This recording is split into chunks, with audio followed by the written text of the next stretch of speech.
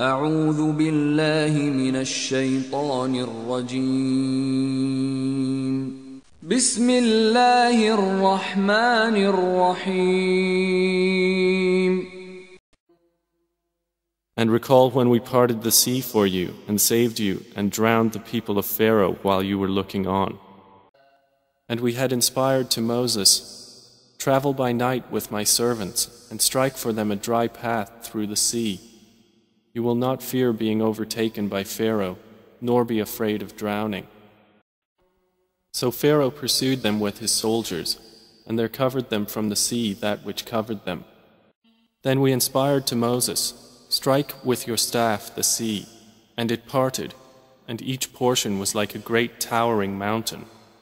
Advanced thereto the pursuers, and we saved Moses and those with him all together. We drowned the others.